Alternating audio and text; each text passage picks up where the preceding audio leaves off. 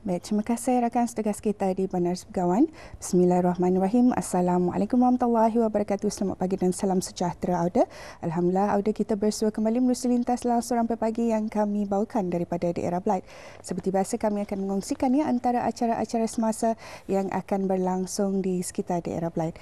Antaranya ialah persembahan pentas Malam Bercorak Kebudayaan dan Keagamaan sempena sambutan perayaan ulang tahun Hari Keputeraan ke bawah Duli Maha Mulia Paduka Seri Begi Baginda Sultan dan Yang di-Pertuan Negara Brunei Darussalam yang ke-73 tahun bagi daerah Belak bagi tahun 2019 akan diadakan bermula pada malam nanti ya sehingga 30 hari bulan Julai.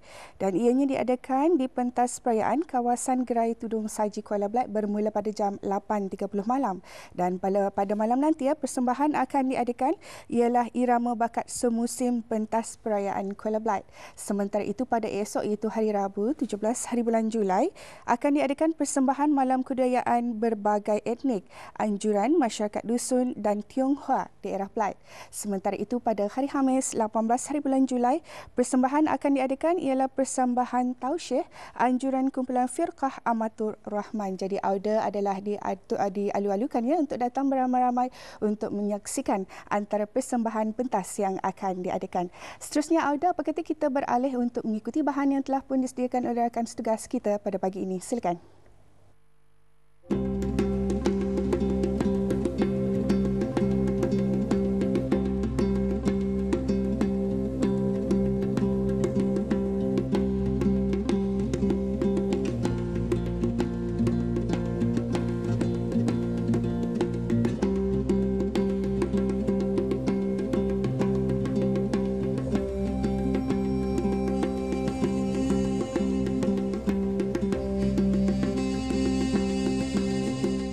Muslimah di negara ini mempunyai peranan dan tanggungjawab yang penting dalam membentuk masyarakat sekeliling tanpa melupakan kewajipan mereka terhadap keluarga. Di samping menerapkan kefahaman tentang pentingnya ilmu bagi seorang muslim, tidak dinafikan juga langkah-langkah praktikal dalam ilmu pengetahuan supaya lebih istiqamah kepada masyarakat umumnya, terutama dalam kerja-kerja kebajikan. Oleh yang demikian, kumpulan Asyuhada kali ini mengadakan kempen kebersihan di Masjid Pandan Kuala Belait sebagai aktiviti kumpulan Asyuhada. Musik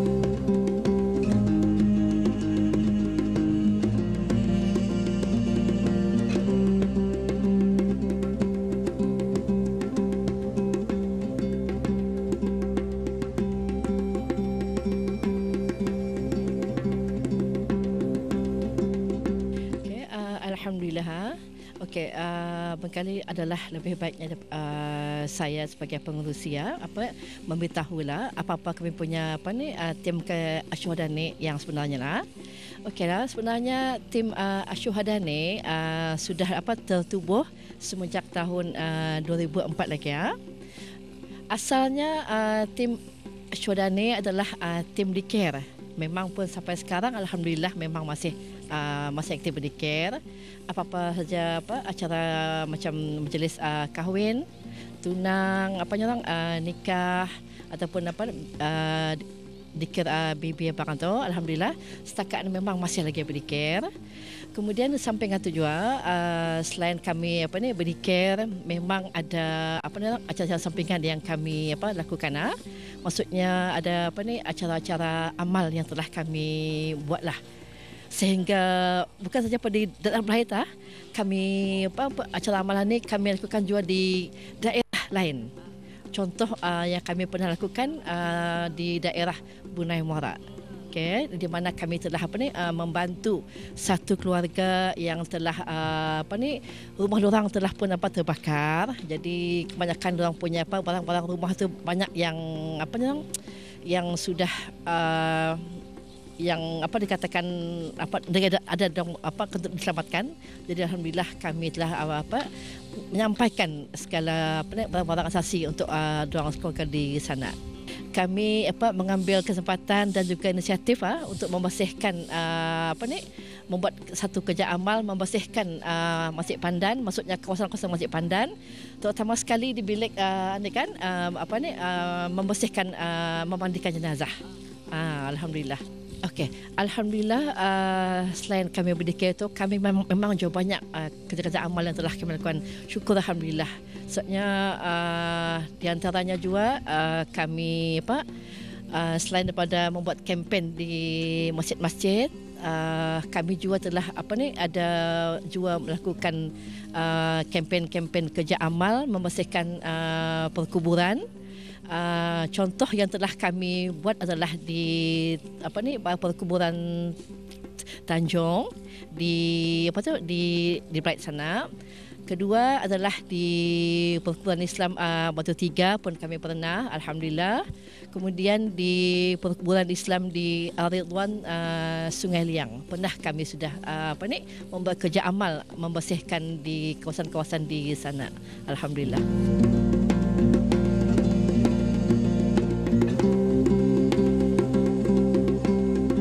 Antara tujuan kempen berkenaan diadakan adalah sebagai salah satu aktiviti kumpulan hasyuhada agar jemaah masjid dan masyarakat setempat dapat merasa lebih selesa dan kusyuk.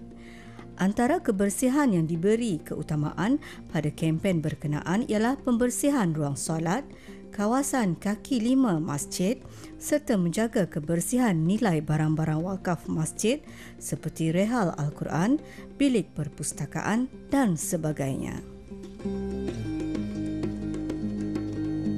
Kebersihan amat dituntut dalam Islam. Ia mencakupi semua aspek termasuklah kawasan masjid mahupun surau bagi kemudahan jemaah. Bahkan tahap kebersihannya tidak boleh diabaikan memandangkan masjid adalah tempat bagi umat Islam menunaikan amal ibadat solat lima waktu.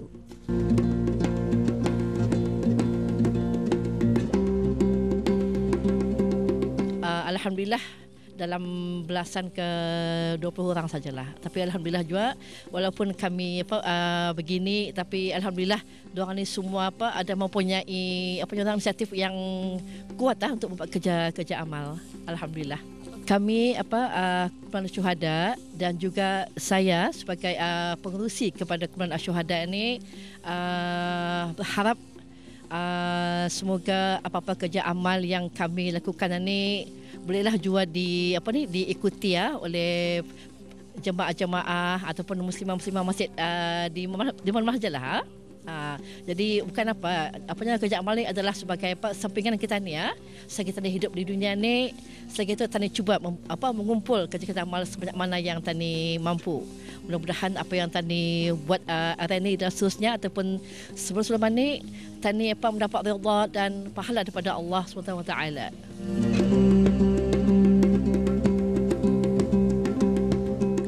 Sesungguhnya menjaga kebersihan itu sangat penting dalam kehidupan seharian.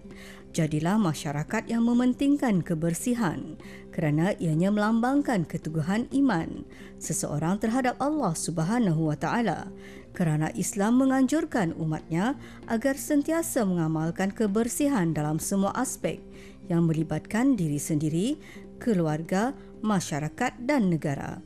Kerana kebersihan boleh mendatangkan suasana tenang, kesihatan yang terjamin dan kesejahteraan yang berpanjangan.